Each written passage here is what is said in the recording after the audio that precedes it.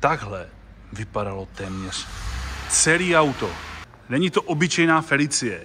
Přátelé, zkouška kvality Prahu. Ještě než celé video začne, tak jsem si říkal, že bych začal takovou předmluvou, nebo jak to říci. Eh, protože spousta lidí píše do komentářů různý prostě, ať už pozitivní i negativní věci, samozřejmě já se můžu někdy mílit, jsem přece jenom člověk, tak eh, jsem si říkal, že bych vám řekl takovou předmluvu k tomuhle videu, které bude za mě plné zážitků a zajímavých informací. Eh, lidi píšou, že ty videa točím proto, abych, pardon, proto, abych byl zajímavý, aby abych měl sledovanost na YouTube a podobné věci. Prosím vás, to vůbec není pravda. Tyhle videa točím proto, aby někteří z vás se mohli alespoň základně trošku orientovat v problematice ojetých vozidel, to znamená aspoň si trošku sami umět vůz prověřit, nějakým způsobem prošetřit a podobně. A zároveň, když už ty věci se dějí, tak proč je nenatočit? Rozhodně můj YouTube kanál není o tom, abych vám točil nějaký zábavy, nějaký show a podobně. Já na tyhle věci nejsem. Jsem profesionál, s mými kolegy jsme profesionálové, kteří se zabývají prověřováním ojetých vozidel a zároveň pomáháme našim klientům prodávat jejich stará auta a rozhodně tak nejsem od toho, abych točil show. Takže ne, není to tak. Já netočím tyhle ty videa kvůli sledovanosti. Točím to proto, aby lidi viděli, eh, na co si dávat pozor a zároveň, aby pochopili, že koupit ojeté auto není sranda. Je to druhá nejdražší věc, kterou si kupujete ve svém životě. Myslím si, že mnohem častěji než nějaký dům, byt a podobně, nebo nějakoukoliv nemovitost. A myslím si, že je potřeba tomu věnovat veškerou péči a energii, když zrovna tohle to probíhá, protože v tom můžete zahučet za neskutečné peníze. A lidi, kteří se v tom nevyznají a nedělají to, tak ani netuší, kolik peněz toho člověka to auto může stát. A samozřejmě Můžete koupit dobře auto, můžete mít štěstí, ale taky v tom můžete hodně zahučet. A myslím si, že proto moje služba a moje práce dává smysl, protože za zlomek ceny auta já vám dokážu říct, jaký to auto je s mými kolegy. Takže pojďte si užít tohle video a děkuji za slušnost alespoň trošku v těch komentářích.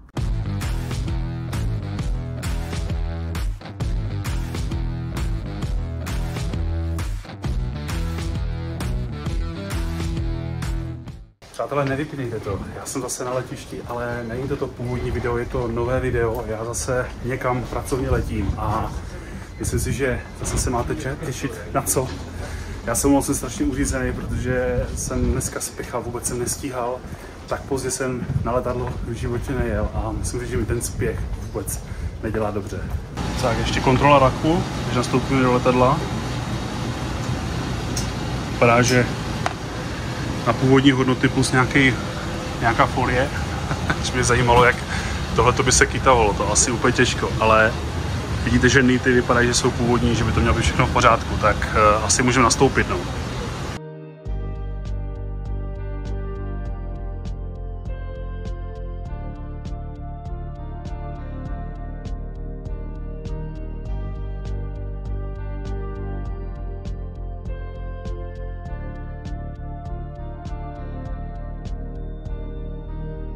Ježíš, jak já rád vidím to letadlo zvenku. Nevěřili byste, jak moc rád, tyjo. Ahoj, zdraví vás Mati Horňák z výběrových aut. Já vás vítám u dalšího tak trošku cestovatelského videa a zároveň co jiného budeme zase řešit auta. A hlavně proto jsem tady. Věřím, že ani podle letadla, ani podle toho, jak tady vypadá, nepoznáte úplně, kde jsem. Na druhou stranu musím říct, že mě to tady trošku připomíná, kdyby byl v Americe někde, ale v Americe nejsem. Jsem v nedalekém Portugalsku, stát, který je, co se týče na počet obyvatel, na tom dost podobně jako my a musím říct, že mám Portugalsko poměrně dost rád, ale jsem tady hlavně kvůli autu. Každopádně, jak je u mě zvykem, každé moje video začíná první hlavně, eh, co se týče nějakých eh, zajímavostí o tom státě, o tom městě. Jsem ve městě Porto, kde byli můj kamarád Zdenek. Kvůli něho jsem tady, protože budeme spolu řešit nějaké věci a samozřejmě celou tou cestou a tím časem tady vás provedu. Každý dával aspoň trošku pozor v zeměpise, tak ví, že eh, Portugalsko má svý moře, není to moře, je to oceán, Atlantský oceán, je známé tím a je velice oblíbené u surfařů, protože jak vidíte, tak jsou tady obrovské vlny. Eh, přijete do Portugalska, je tady sice teplo, ale nikdy skoro nikoho jiného než surfaře ve vodě neuvidíte, protože ta voda je tak studená, ledová, díky tomu, že je to Atlantik. Takže úplně se tady moc asi nevykoupete. No. Co tak samozřejmě vzhledem k tomu, že je to stát, který leží na eh, právě pobřeží toho Atlantského oceánu, tak oh, oh, takhle jsem dopadl, ta voda je, je, fakt, je fakt ledová. Portugalsko je první státem v Evropě, který zrušil otroctví, že to je asi poměrně nepodstatná informace, protože u nás v Československu nevím o tom, že by vůbec někdy nějaké otroctví bylo, ale musím říct, že tu ten stát mám velice rád. Byl jsem hlavně v Lisabonu a opravdu Portugalsko jsem si velmi oblíbil. Zajímavosti třeba, i když si Lisabon teďka ukazovat nebudem dneska, tak Lisabon je starší město, mnohem starší město než například Řím a e, Portugalci e, díky Římanům bych řekl, že jsou dneska tam, kde jsou. Spoustu architektury a podobných věcí zde zanechali Římané a musím říct, že fakt Portugalsko je pro mě velmi zajímavý stát. Už jenom proto, že se o něm tolik nemluví, protože díky tomu, že se o něm moc nemluví, tak není zde rozšířený takový turismus a zároveň co tak, eh, jak jistě víte, tak z Portugalska se moc aut nevozí do Evropy. A to právě dává tu příležitost, aby ty poklady, které tady jsou, tak abychom třeba nějakým způsobem spolu v budoucnu objevili. Největší řekou, která proteká portem, tak ta je tam v těch místech, tak je to řeka Douro. A ta vlastně protýká, je to poměrně velká řeka, protýká portem a e, vlévá se do toho Atlantského oceánu s tím, že tyhle ty mola slouží jako takové vlnolamy, aby právě ty vlny nešly do ty řeky, odkud ústí a e, ta řeka se mohla v klidu vlévat právě do toho Atlantského oceánu. Přiznám se, že Portugalsko celkově mám rád už hlavně proto, protože mi tak trošku připomíná Brazílii. Už jenom proto, že v Brazílii se mluví portugalsky, je to bývalá kolonie Portugalska a zároveň ty palmy, krásná příroda.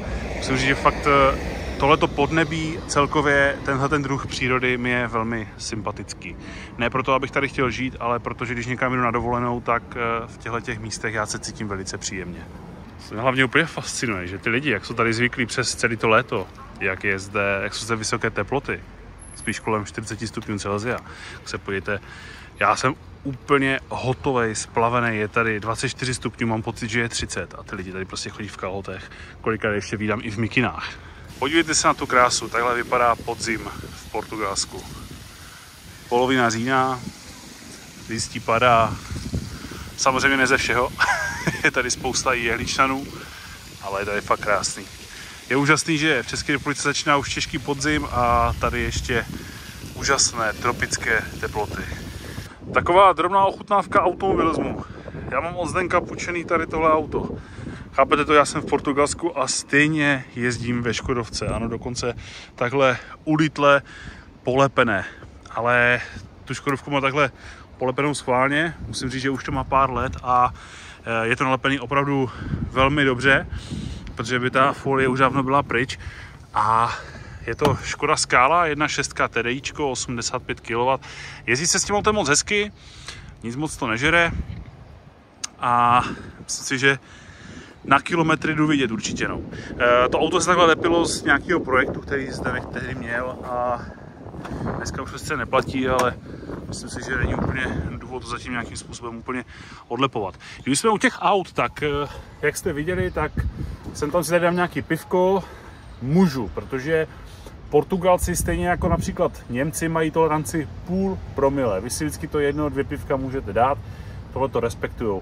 Zajímalo by mě, co na to říkáte a jestli byste takovouhle toleranci chtěli mít i u nás. Já věřím, že první roky by to asi nebylo úplně dobrý, protože spousta lidí by toho zneužívala, ale myslím si, že po nějaké době, stejně jako třeba na neomezenou rychlost na dálnici, bychom si nějakým způsobem zvykli a respektovali to a třeba úplně nebláznili.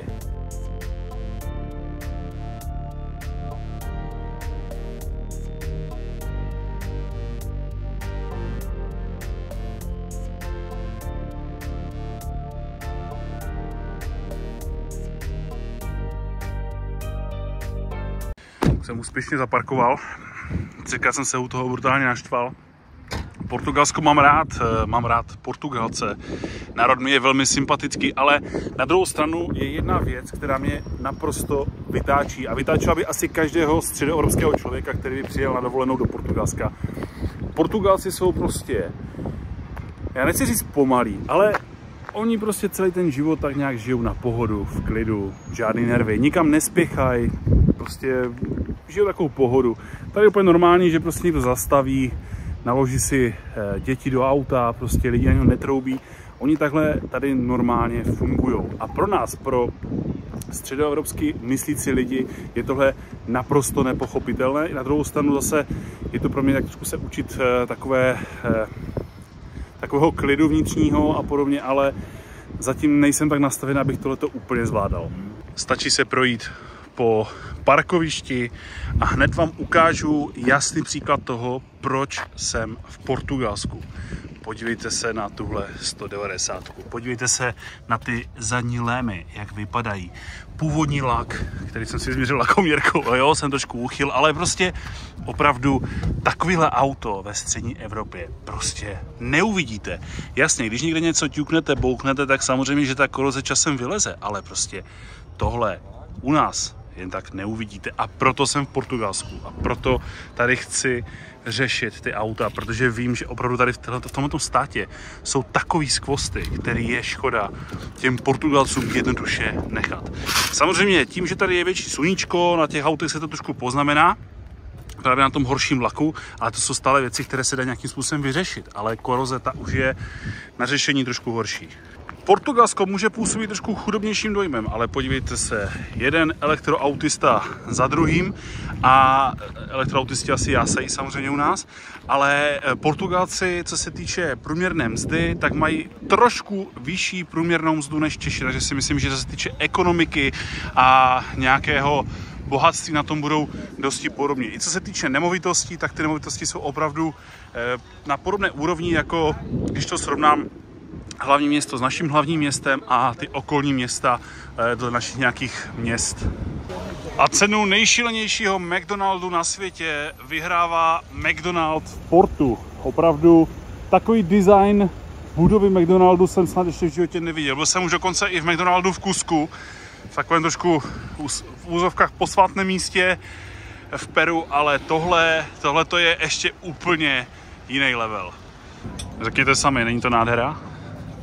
Já mám pocit, že jsem teďka celou dobu úplně v jiném městě, protože to centrum je úplně jiné jako to okolí Porta. Porto je totiž v Portugalsku nejprůmyslovější město a to okolí opravdu moc pěkné není. A když se podíváte do toho centra, to je nádherný.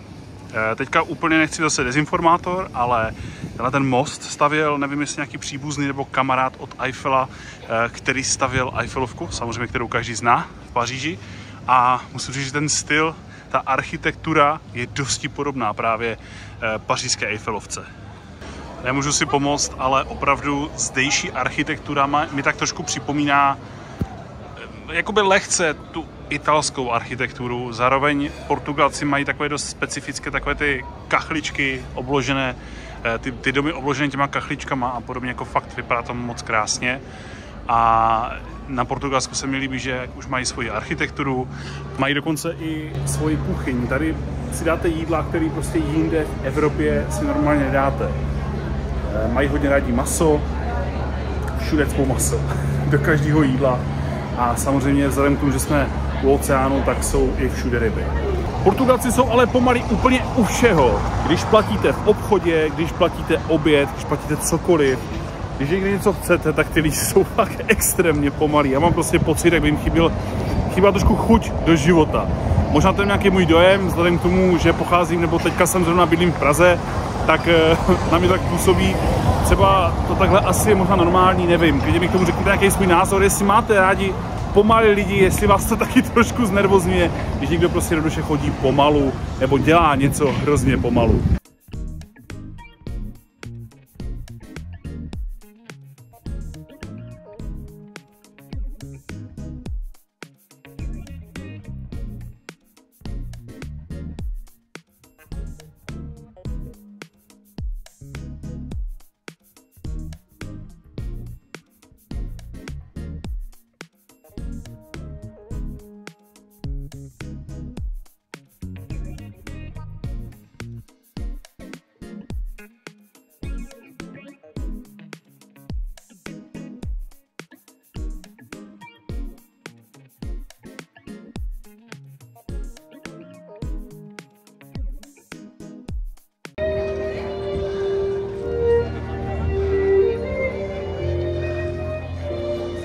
Nesmí chybět samozřejmě živá hudba, tady jako u nás, bublinky, klasika. Dívejte se, jak tady žijou lidi, to je úplně neskutečný. Jo, každý ten stát prostě má tak trošku něco svýho. No. Tady hezky. A za mě asi nejznámější, čím se proslavilo Porto, tak je, my jsme Češi, my jsme odborníci přes alkohol, samozřejmě hlavně přes pivo, ale každý z vás určitě zná portské víno. A portské víno právě pochází z Porta. Za mě výborné víno, určitě ne na žádné velké pití, takže pro Čechy nic moc, ale je to vynikající víno, průměru mývá zhruba okolo 20% alkoholu a jsem tady trošku vína popil, neříkám, že dneska, ale za ten pobyt, tady jsem a musím fakt říct, že portugalské, portské víno je opravdu fantastické. Tak ještě z druhé strany výhled eh, z katedrály Porto na druhou stranu města nádherná zvonice, 76 metrů vysoká, tam se taky určitě samozřejmě půjdu podívat. A zároveň, co hodně, hodně chválí v těch průvodcích, že je tady nádherný nádraží, který se stále využívá. Takže rád se s vámi ještě o všechno podělím. Nebojte se, auta budou, brzo budou, ale chci vám trošku ukázat, trošku přiblížit i to Porto. Když už tady jsem, tak eh, rád si to projdu a zároveň rád se s vámi o tyhle věci podělím. A jak jsem slíbil, tak budova stále funkčního nádraží v portu. Nádherný. Opravdu. Trošku mi to připomíná cibulák, takový ten porcelán od babičky. Schválně mi řekněte, jestli to ve vás vyvolává podobné pocity. Tím samozřejmě babičce, doufám, že babička nesleduje moje videa, ale nechci říkat, že cibulák je špatný, tento chraň páně, to vůbec ne. Mně se naopak cibulák moc líbí, ale tady s tím vlastně to mají zakomponovaný úplně všude. U nás v Čechách to je jenom uh, v kuchyňském nářadí. Ale dívejte se, to je, je to krásný, moc hezký. Musím říct, že jsem mile překvapený, protože uh, v centru Porta jsem nikdy nebyl, a když přijete do Porta, tak se tak jakoby celkem překvapení, jak hezky se o tom městě píše, ale když uh, přijete do toho města, tak vidíte všem samý průmysl, je opravdu potřeba vyrazit do centra a pořádně to město projít. Co je zajímavé, že v portu jsou obrovské kolony. Já, ačkoliv jedu jak po malý, tak po velké silnici, tak stejně pořád všude stojím. Je to jedno, jestli to je pátek, sobota, neděle, pondělí, je to fakt jedno. Eh, Porto má 200 tisíc obyvatel a vypadá, že asi, ačkoliv tak nevypadá jako na první dojem, že kolem Porta jsou všude dálnice, eh, různé takové okruhy a podobně, tak stejně to prostě nestačí. Architektura Portugalců vás nikdy nepřestane udivovat. Opravdu zajímavý. Co oni jsou schopni vymyslet, to je, to je neskutečný. Ono je to tak škaredé, že to je hezký. V průvodcích občas píšou, že se zde nachází knihovna z Harryho Pottera. Když tak trošku potom víc pidíte, tak zjistíte, že vlastně to není knihovna Harryho Pottera, ale že pouze paní Rowlingová, která napsala knihu Harryho Pottera, tak se vlastně tím pouze nějakým způsobem inspirovala nejspíš, protože nějakou dobu žila v Portu. Takže je tady knihovna, do který se chce opravdu hromada lidí dostat. Vidíte, to jsou všechno lidi, kteří čekají na tu knihovnu. Já myslím, že se asi nebudete úplně zlobit, ne? když eh, do ty knihovny nepůjdu a nebudu čekat tu řadu. Navíc, když to ani není knihovna z Harryho Pottera. Já se přiznám, já jsem Harryho Pottera ani neviděl. Touhle zastávkou bych chtěl ukončit takové to chození po městě a ukazování eh, architektury Portugalska. Rozhodně, pokud někomu z vás se líbí architektura zdejší, ať už je to v Portu nebo v Lisabonu, rozhodně tyhle města navštivte. Mně se ty města líbí. Je to zase tak trošku jiný svět, poznáte něco jiného, ale pokud úplně nemusíte celodenní chození po městech, tak eh, co za mě rozhodně můžu doporučit, tak je Madeira. Madeira taktéž patří k Portugalsku. Je pravda, že takovéhle krásné budovy tam úplně neuvidíte, i když pár kousků tam taky je, ale na druhou stranu Krásnější přírodu jsem zatím nikde na světě neviděl a to jsem už v pár místech byl. Takže za mě, pokud rozhodně hledáte krásnou přírodu, tak Madeira je jasná volba a patří k Portugalsku. Na Madeiru se většinou lítá právě přes, vidíte, přes Lisabon, už zapomínám ty slova, a je tam kouzelně. Nevím úplně, jestli to je pro každou povahu, protože přistávání na Madejře je takový trošku oříšek pro piloty. Eh, patří to jedním z nejnebezpečnějších přistávacích dráh vůbec, protože je poměrně krátká, i když ji už o dost prodloužili, ale myslím si, že jestli přežijete let, nebudete litovat. Přátelé, takhle to má být. Policisté v Portugalsku vědí, jaká auta jsou nejlepší. Schválně mi řekněte, ti, co jste byli v Lisabonu, já se prostě nemůžu zbavit dojmu, že mě Porto je hodně podobné právě Lisabonu. V některých prvcích samozřejmě něčem jiné, ale ta členitost toho města mně přijde téměř totožná. Samozřejmě v Portugalsku nesmí chybět ani Lidl. Víte, že jsem vás vzal dokonce i v Německu do Lidlu, ten se úplně za stolik neliší oproti tomu českému. Navíc, když prostě v Německu v Lidlu něco máte novýho, tak většinou do 3 do 4 měsíců je to i u nás. Dejte se na ten krásný výběr salámu, šunek, cenovky dosti podobné jako u nás. A jo, další věc, co jsem chtěl ukázat, tak uh, můžete si doma vymačkat pomerančovou šťávu úžasný. Taky čekám, kdy to bude u nás. Možná, možná brzy, i když nevím, nevím, protože pomeranče se tady pěstují, takže z toho důvodu něco tady mají. A co jsem vám chtěl určitě ukázat. Tenhle ten mrazák, když jsem viděl, tak jsem si říkal, že vám to prostě musím natočit, protože samý ryby. Jako to jsou plný mrazáky jenom ryb, jelikož eh, jsme, jak jsem říkal, v portu, ve městě, které je u moře, tak tohle to neříkám, že je to úplně čerstvý, to asi úplně ne, ale na druhou stranu určitě je lepší si to koupit tady, než u nás, že jo. Bohužel u nás v Lidlu takové ceny nemáme, možná i bohu dík.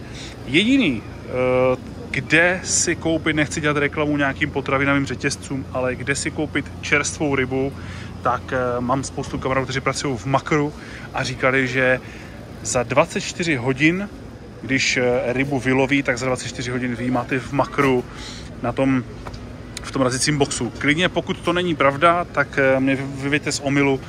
Víte se na to, to je úžasné. Neříkám, že mi to dělá nějaký úplně extra chutě eh, dívat se tady prostě na, na ty zmrzlé mrtvolky, ale na druhou stranu prostě je to zajímavé vidět to takhle, že to takhle mají. Prostě volně na váhu si to můžete navážit.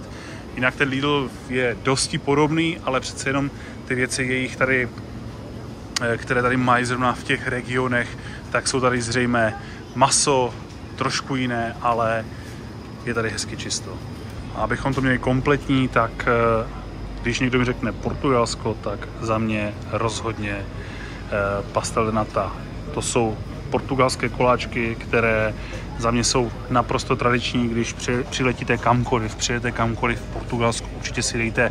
Neříkám, že ty z Lidlu jsou úplně ideální, ale když si třeba byl jsem v Lisabonu a v Lisabonu si je můžete koupit eh, kdekoliv na stánku a doporučuji, je to vynikající a je to naprosto tradiční, typické portugalské jídlo.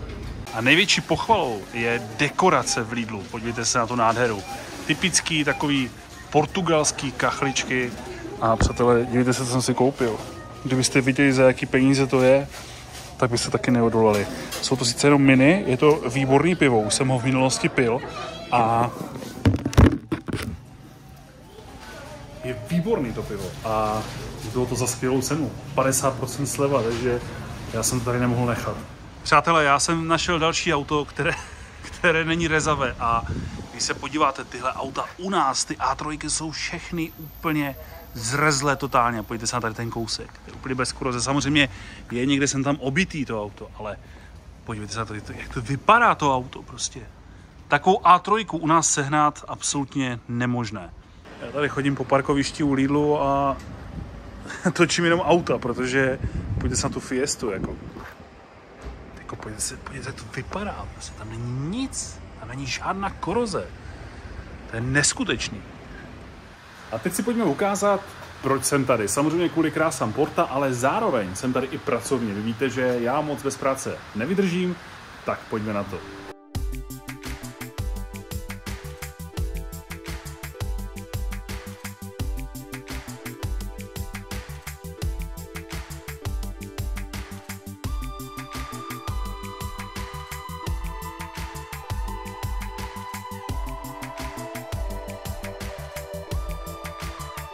Přátelé, jsem tady. Představuji vám Zdenka. Čau Zdenku. Ahoj. Čau, čau. Kamarád, eh, bývalý závodník a já doufám, že i budoucí závodník a zároveň eh, majitel a řekl bych strůjce tady těch věcí, na které se dneska budeme dívat. Já bych chtěl Zdenku, abychom si to všechno prošli a ke každé z těch věcí, jestli by tam třeba něco řekl. K Escaladu tam to asi moc, moc není, co? To to radši přeskočíme, tady k tomu asi nic, nic dobrýho říkat nemůžeme. To jsme, to jsme my nedělali, to jsme... To dělala firma Strut, která, která se specializuje na takovéhle věci. Je pravda, že tohle auto je fakt jako hodně zvláštně udělaný. Eh, Každopádně z nějakého důvodu se tady koupilo a jako nevypadá to úplně zle, je to udělané v 90. letech. Za mě úplně nejdůležitější, co tak je v tom kufru ta aparatura, která tady je, společně s těmi displeji. Zároveň co tak ten displej, dokonce to, co hraje na těch displejích v autě, tak vám hraje i tady v tom víčku od nádrže. No prostě úchylárna. Ale za mě důležitější auta stojí tady. Tak tohle mnohem lepší. Tak tady máme Mazdu, Mazda MX-5, jasně, NAčko, to je všechno originál, tady se tom nic neměnilo, jsme to jenom zrestaurovali. No. ano. Trochu, jako ne, ne spousta věcí. Můžeme se na to auto potom podívat ze spoda, nevadilo by ti to? Určitě, bez problémů, pak to dáme na zvedák, to. Na zvedák, jo. Pozor, MX-5 na zvedáku jsem dlouho neměl, protože hlavně NAčko, spousta lidí má strach vůbec NAčko dát na zvedák právě kvůli těm zvedacím bodům. Další M3, To jsme, to jsme, to bylo dělané v Německu firmou Custom Race Tech s, se spoluprácí se Schirmer, má tam, je tam spousta dílů, co, co vlastně lidi z snowboardingu ví, ví, ví, ví, ví, co se jedná. Tam Jasně. Co říct. Rozumím, vidím třeba karbonový blatník, že jo. Tady jsou dveře, Jo. kapota, střecha, zadní, to je, český, Uh, jo, patý, patý dveře, patý, výkop patých dveří. Všechno to je z karbonu, všechno z karbonu. takže odlehčený Spoiler, výborně. Všechno. Krása. Ukážeme si nejprve ty auta a pak si řekneme vlastně, proč to natáčím a proč jsem tady. Pro mě úplná největší topovka Porsche 964. Zdenku, vím, že jsi na tom autě něco upravoval a mě by hrozně zajímalo, co a proč to vlastně vůbec dělal. Tak, tak je to starý auto a jelikož jak, jak jezdím formule, jak jezdím prostě rychlý auta, tak je to všechno, všechno takový pomalý, no. Tak jsem se rozhodl udělat pár věcí, pár úprav, kterých kdybych chtěl, tak to zpátky do originálního stavu můžu dát bez problému, ale Rozumím. eh, jsou to, jsou to věci, které vlastně měli cenu dělat. No. Chtěl jsi zlepšit ten... Short shift jsme vyměnili, Ano, no a to jako nemusel jsem, ale vypadá to mnohem líp. a řadí se s tím mnohem líp, co si budem. A, za- a řadí se s tím úplně perfektně. No. Sedačky, sedačky, volant není originál, ale už to nemá zadní sedačky, to všechno kvůli, kvůli Váze. váze no, ale. Já se chci omluvit předem za češtinu od Zdenka. On už, jak, jak vidíte, tak jsem v Portugalsku, už pár let žije v Portugalsku a přece jenom, i když žil v Praze, tak už prostě ta čeština není tak dobrá, protože používá více tu portugalštinu. Takže občas ho budu trošku doplňovat, vím občas, co chce říct, takže eh, prosím, omluvte, omluvte jeho češtinu. Já věřím, že to každý z vás pochopí, rozumně. Tady pak máme ještě palivovou nádrž, to se podívat. Jako tohle, když jsem viděl, když mi zde neukazoval, tak mi spadla brada, že do něčeho takového se pouštěl. Každý z vás určitě ví, že jako každé Porsche, palivová nádrž je tam eh, před nohama od řidiče a Zdenek ji dal sem. Zdenku, proč? Tak, uh, dali jsme vlastně, tak palivová nádrž má, originál má asi tak 75 uh, litrů, což, což není špatný, akorát je, je na špatném místě. Tak jsem se rozhodl to posunout dopředu a níž, to znamená, že ta váha toho auta, protože jelikož to má motor vzadu, tak se trochu posune víc dopředu. Jasně. To znamená, plus minus 4% se, jsem dokázal posunout váhu ze zadu dopředu. Kvůli, jenom kvůli tomuhle Kolik tady je litrová ta nádrž? 60. 60. A Zdenek to přesunul proto, aby to auto, říkal mi hlavně ve vyšších rychlostech, že bylo takové trošku nestabilní, nejisté a díky tomu je jistější a mnohem lépe se s ním jezdí. Neskutečný. To je přesně ono, že ty jeho zkušenosti ze závodního okruhu on přenáší sem a vylepšujete auta tak, aby, samozřejmě tohle se dá vyndat normálně, To se dá bez problému vyndat, tam není nic. co- A BSO se dá tam to zpátky na vyndáš, místo, a jasně. To, to odšroubuješ, tam jsou dvě, čtyři šroubky, odšroubuješ to a bez dáš zpátky na místo, je to. Jasně. jiného Tam Hmm, není. Ještě to není finální verze, funguje to, ale jako můžeme to trochu srovnat, tak to vypadá trochu líp, ale... Já vím, a jsi je to- detailista. Je to, to zbytečný, no, jelikož to funguje, tak jsem se, na to. Říkal jsem mi, že jsi tam ještě řešil něco ohledně brzd, tak eh, jestli nám můžeš ukázat, Tak, brzdy, brzdy eh, už v tom autě originál jsou. Tohle, jestli se nemýlím, tak tohle jsou brzdy z turba, ano, které jsou trochu větší a mají větší, větší kotouče, ale nestačí to. Já si myslím, že potřebujeme to trochu vylepšit. ano, Ale jakože tohle auto jsou, jsou dělaný um, custom jako na míru dělaný eh, brzdy, akorát je to strašně předražený. Tak jsem se rozhodl si vyrobit vlastní kit, slyšíte správně, on si rozhodl vyrobit vlastní kit brzd na Porsche. Jenom brzdiče, co jsou zápět racing, který jsme, který jsme opravili, nastříkali a opravili.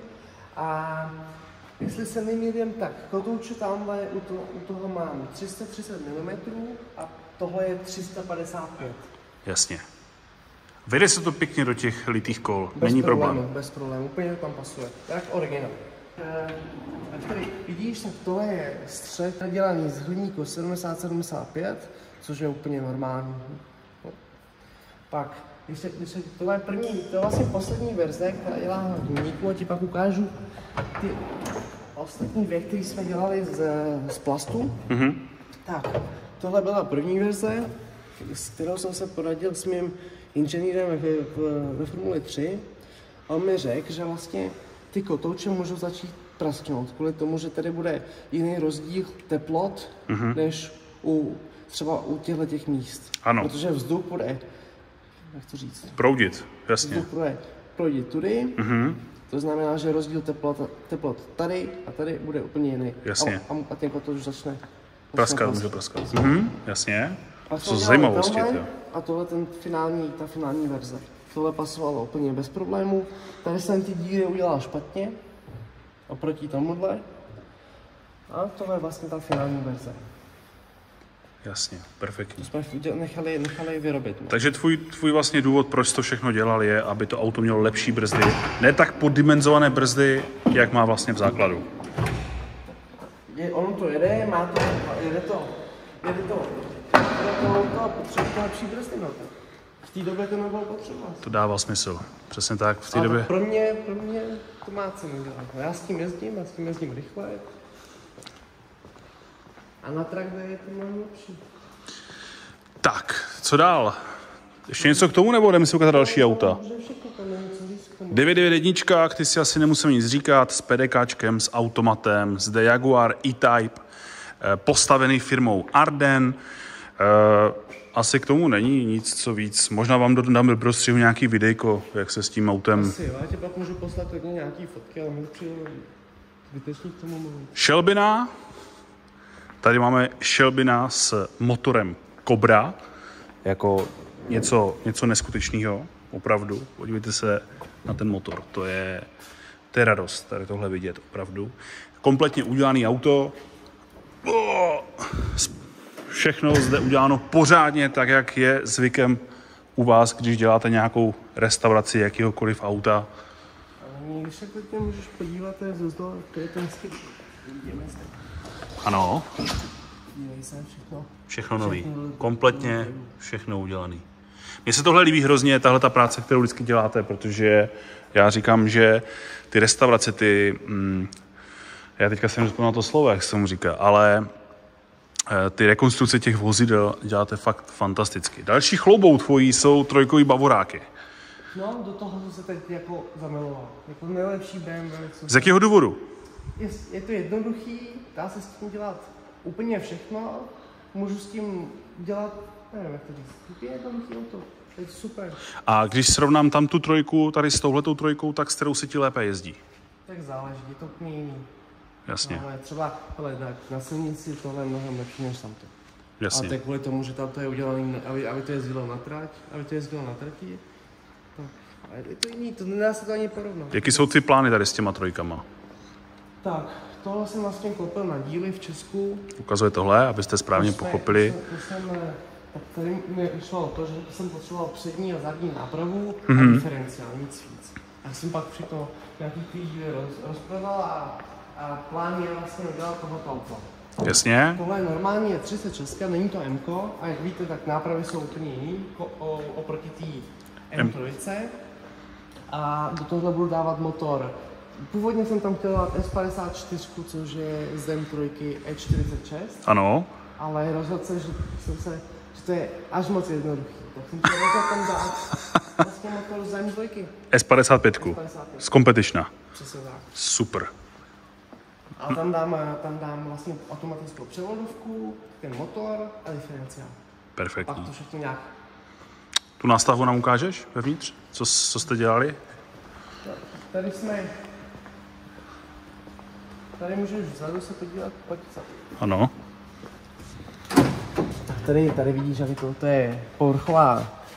Pro, po, po, jak to říct, Jasně, povrchový když ten prach, stát, to, to to, si to, ne- vlastně to je normální, tam to, to, stačí, to se, to se pak, až se to bude stříkat, tak se to Se to všechno, obrousí. se to obrousí, to nic není, ale tady se můžeš podívat tam všechny ty svády, Jsou nádherný. Všechno, všechno do, deta- do, do detailu. Kdo aspoň, troč, aspoň jednou z vás někdy svařoval něco, tak musím říct, že tyhle ty housenky jsou fakt nádherný, pravidelný. Vypadá to na... Pěkná práce, čistá práce. Pak tady můžeš se podívat tady vzadu, vlastně 36 mají problém tím, že praskají tady.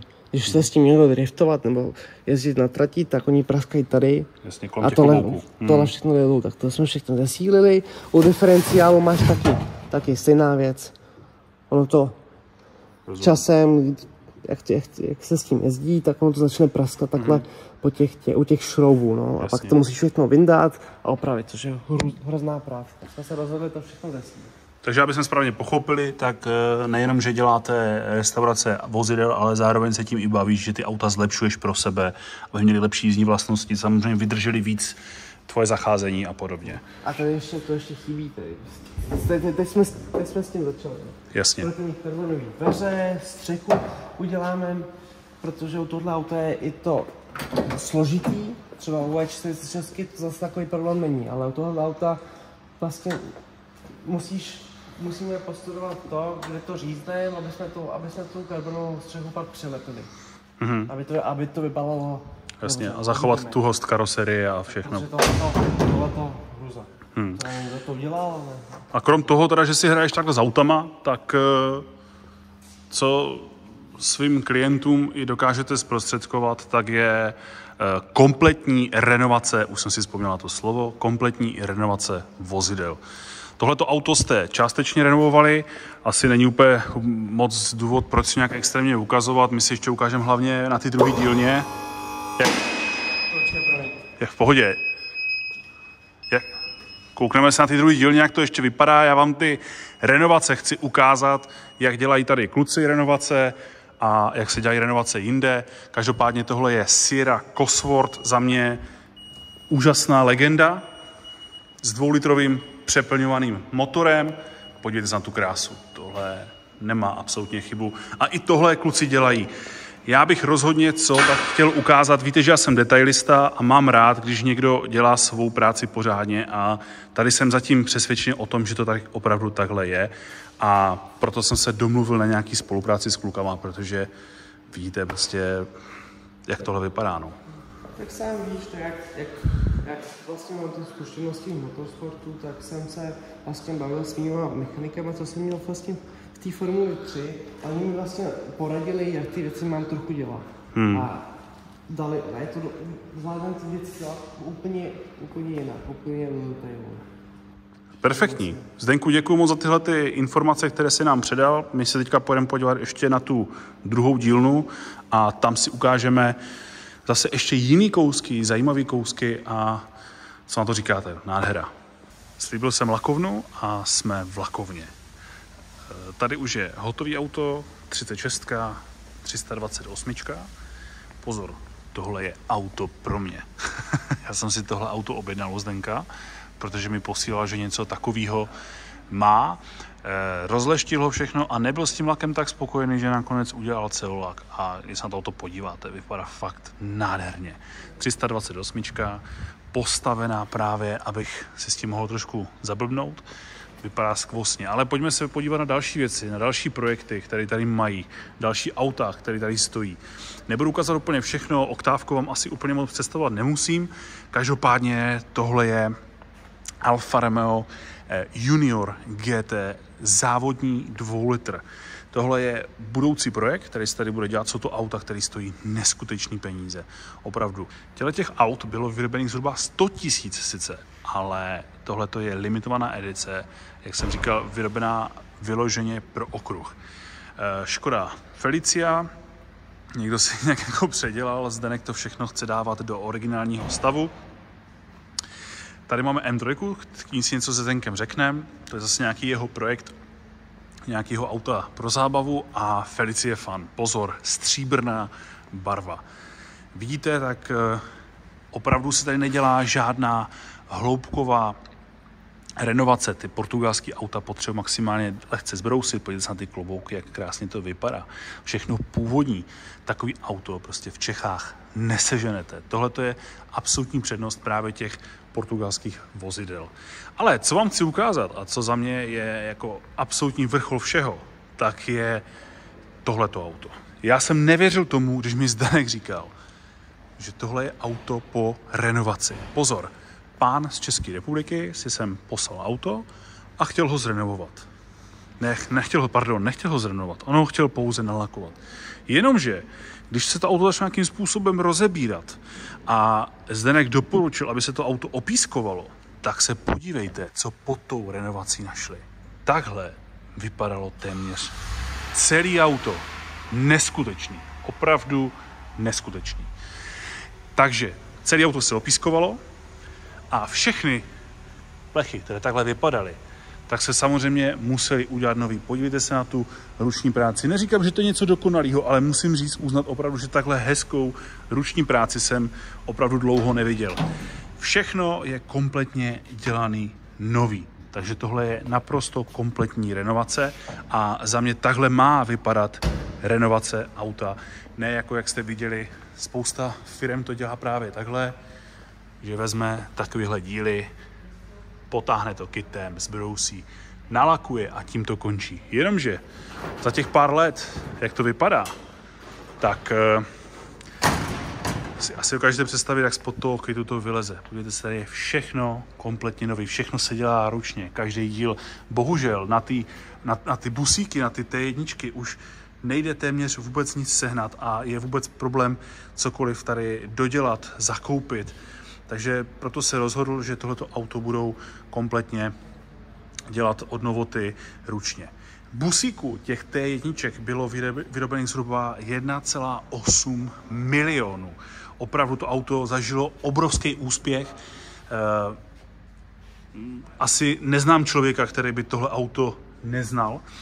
Zároveň se trošku mě mrzí, tady není volant, protože byste viděli, jaký krásný velký věnec volantu. Tímhle jsou ty auta opravdu známý a když ty auta jsou zrenovované a jsou fakt dobře udělané, tak jejich cena se pohybuje až okolo 3 milionů korun. Eh, v České republice, když jsem si zjišťoval nějak, nějakých zase statistikách, tak eh, u nás je zhruba 40 kusů a z toho pouze 20 je v pojízdném stavu. Tohle jsou pouze nějaké statistiky, neberte mi zase za slovo, majitele právě tady těch aut. Klidně mi napište do komentářů, jaký máte zkušenosti, kolik takových dobrých aut je u nás opravdu. Ty dveře tam samozřejmě zůstávat nebudou, to bylo taky nový. Ale jenom jsem vám chtěl ukázat, jak může vypadat renovace, a tahle renovace je z České republiky, a jak se renovace má doopravdy dělat. A tady možná tak trošku dělám reklamu téhleté firmě nebo Zdenkovi, ale prostě oni ty renovace takhle dělají. Kdyby někdo z vás měl zájem o renovaci, samozřejmě rád pošlu kontakt. Tady mají i místnost na míchaní barev a samozřejmě lakovací box.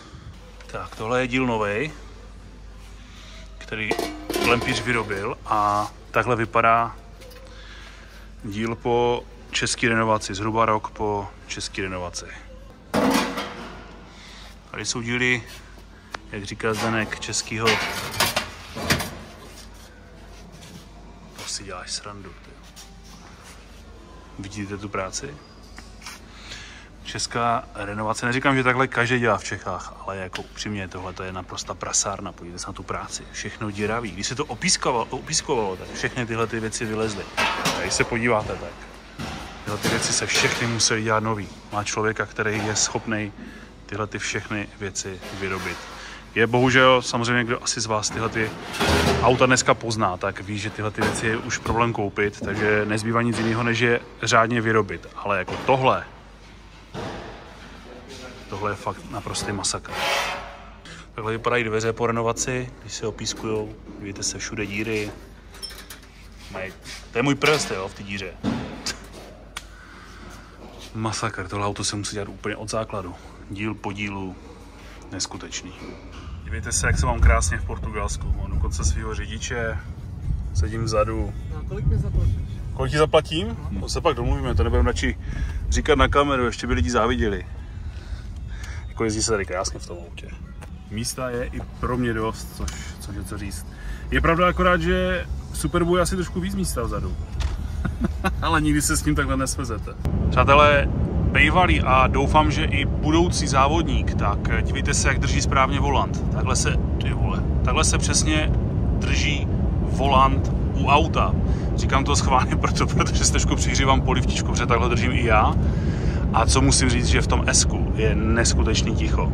Jedeme eh, trošku nad limity, samozřejmě jsme v nějaké toleranci a je v tom autě úplně ticho. Neskutečná jízda opravdu. A jak jsem sliboval, tak takhle vypadá renovace od Zdenka. Sice T2, není to T1, ale všechno udělané do detailů, opískovaný, pěkná práce a samozřejmě co, tak nesmí chybět hezký lak. Jo, a ještě bychom si mohli ukázat ten motorový prostor. Samozřejmě původní, původní jedničky, dvojky měly motor vzadu. Nádhera. Dokonce jsem ho slyšel i běžet, do prostřihu vám dávám videjko.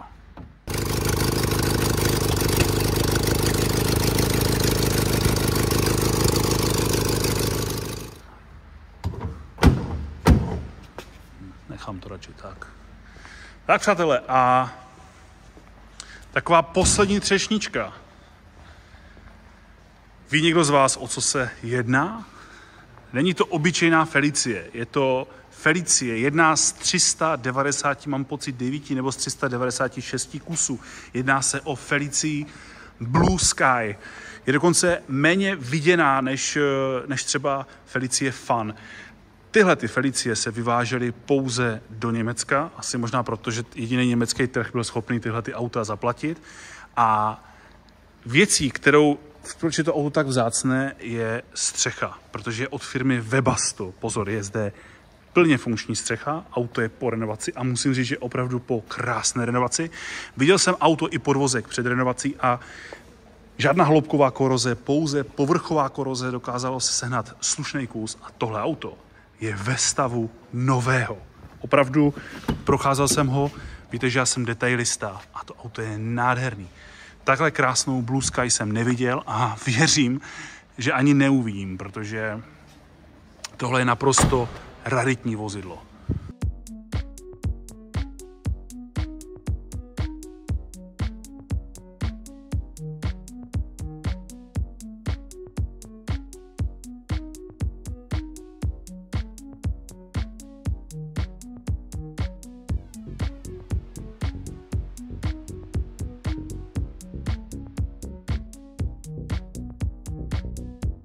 Co na to říkáte? Já z toho mám normálně husí kůži. To auto je nádherný. Úplně to ve mně zbuzuje nostalgickou vzpomínku, když tyhle ty auta byly nový a jezdili po silnicích, protože tohle auto je opravdu ve stavu nového auta.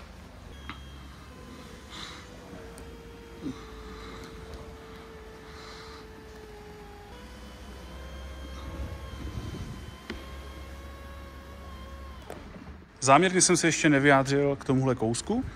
Jedná se o stříbrnou Felicii Fan. Proč stříbrná, nebo spousta lidí ani neví, že vůbec stříbrná Felicie Fan existovala, tak eh, tohle auto je před eh, drobnou renovací. Zase se podívejte, tohle je původní stav. Takhle to auto vypadá, vidíte na ty klobouky. Fakt, jak jsem říkal, žádná zhnilotina, něco takového prostě u nás v Čechách ne, neuvidíte. A stříbrných ačkoliv žlutých felicích fan bylo zhruba 4000, myslím si, že přesný počet je 4016 kusů, i když každý zdroj udává trošku jiné číslo, tak eh, dlouhou dobu dokonce lidé ze Škodovky ani nevěděli, že stříbrná existovala a e, z některých zdrojů jsem zjistil, že je těch kusů 6, z některých 8, takže opravdu vzácnost tohle auta je obrovská a z tohle auta Zdenek zase udělá zánovní auto krásné, tak jak třeba právě u té Felicie, tak takhle podobně bude udělána i ta stříbrná.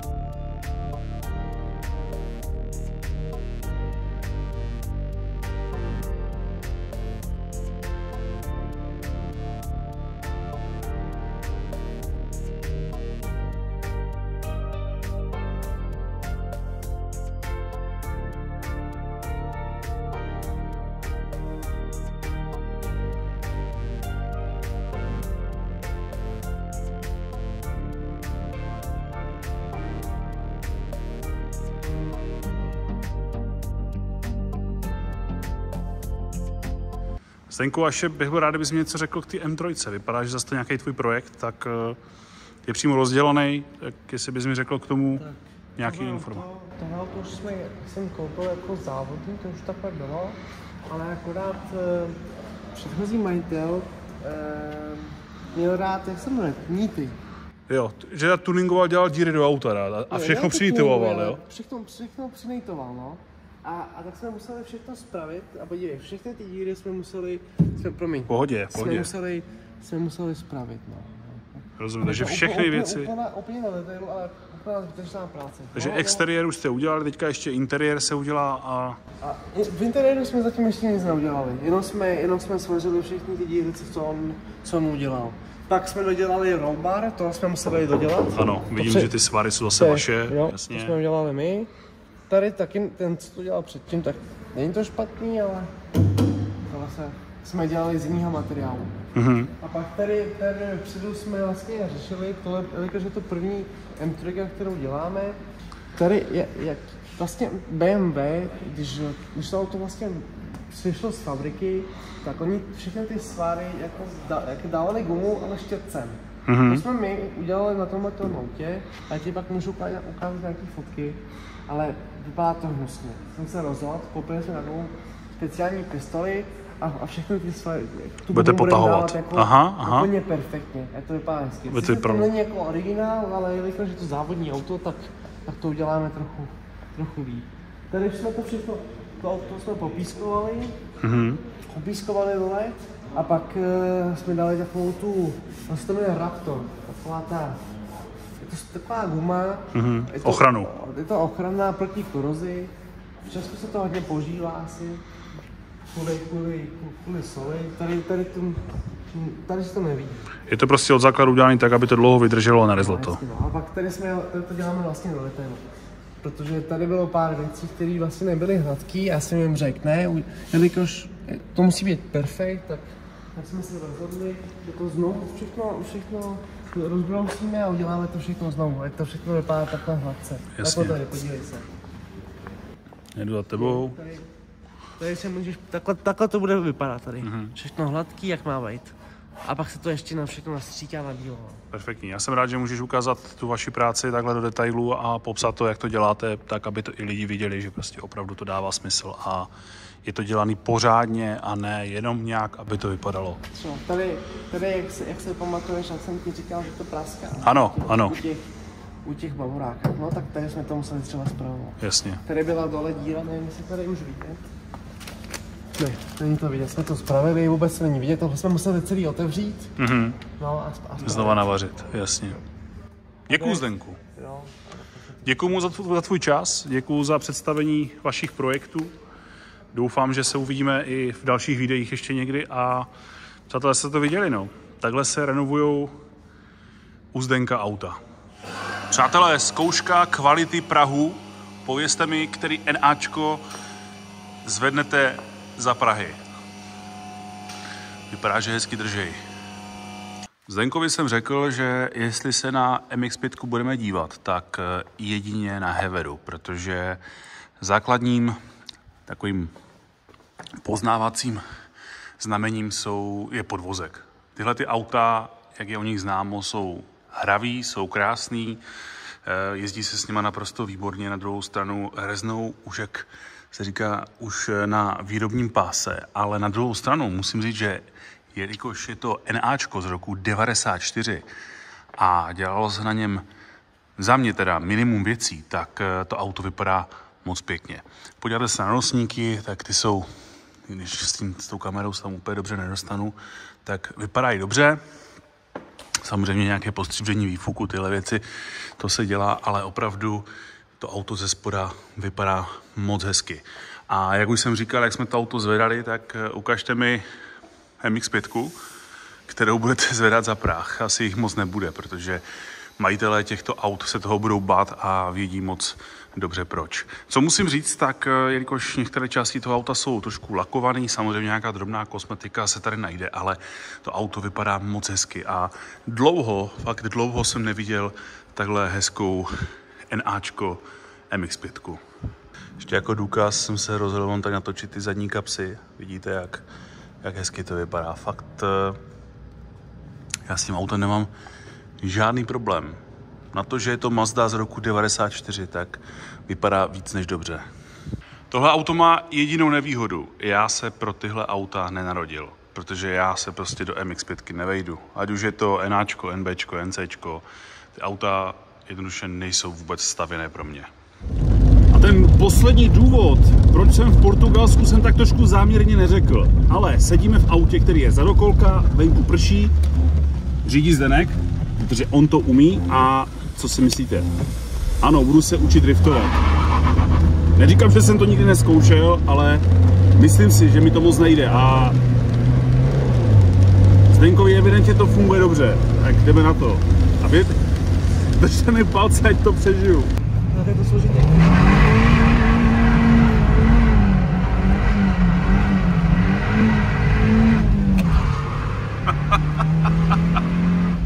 Přátelé, tak já už jsem zpátky v České republice, jak vidíte. Věřím, že jste si ten výlet se mnou užili. Určitě nezapomeňte sledovat stránky vybíravaaauta.cz, vozy ke koupi a nahoře je kolonka investiční vozy. Neberte to prosím tak doslova, ale jsou to auta, které si myslím, že minimálně nebudou ztrácet na hodnotě. Každopádně děkuju moc, jestli jste to dosledovali až sem. Opatrujte se, mějte se rádi a nezapomínejte, život je příliš krátký na to, abychom jezdili ve špatných autech. Ahoj.